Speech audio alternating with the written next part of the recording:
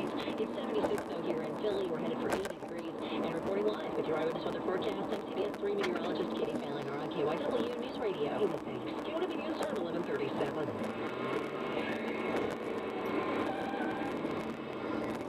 This commercial isn't about cars. This is about your air conditioner. Every time your AC starts and stops with a screech, you're putting additional wear and tear on your system. Pretty soon, your AC is going to give you that final squeal. Probably when you need it the most.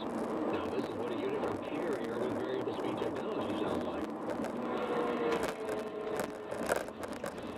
Easy quieter, but it's more efficient and can save you money on energy bills, too. The choice is obvious for your home comfort. Turn to the experts at Carrier and visit TriStateComfort.com to find a local dealer like Brewer Heating and Air Conditioning in Westchester or Precision Air Inc. in Trenton. Save up to $1,650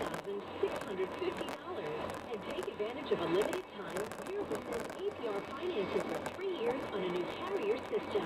Visit www.tristatecomfort.com today. I'm Dr. Frances Jensen, Chair of Neurology at Penn Medicine.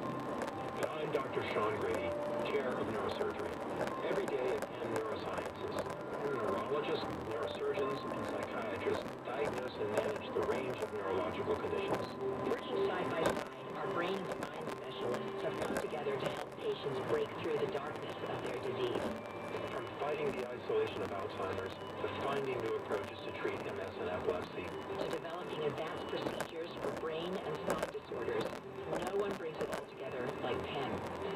One of the reasons U.S. News and World Report has ranked Penn Neurosciences best in Philadelphia for over 20 years. Call 800-789-PENN for an appointment and discover all the breakthroughs that are lighting the way for our patients today at pennmedicine.org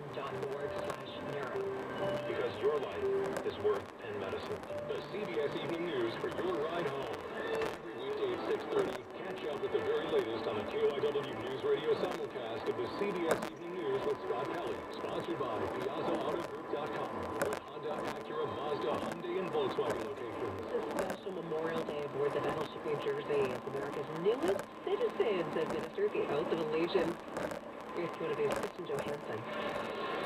Under a cloud of skies, 39 people entered on flight 10 on the New Jersey to become American citizens.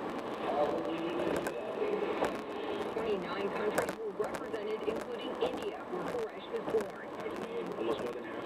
Life here with my family, so this means a lot, and uh, I'm just very grateful. The sun started to shine just as the three dozen people took the oath.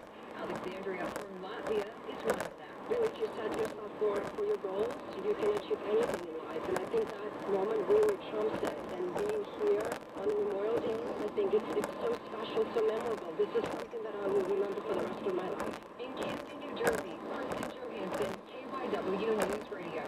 KYW News time, 1140. They're known for performing illegal daredevil on city streets, but now Philadelphia's underground dirt bike community the subject of a new documentary that premieres this week. Here's KYW Community Affairs reporter Cherri Gregg. You may have seen them, or better yet, heard them. Dirt bikers popping wheelies in traffic, endangering their lives and the lives of others.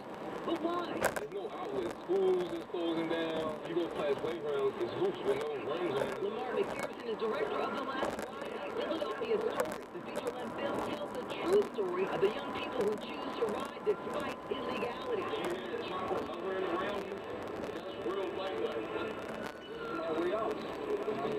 30-year-old Jose Colazo is one of the real-life characters in the film. He's been riding since age six. His dream? Take his illegal street ride to the dirt.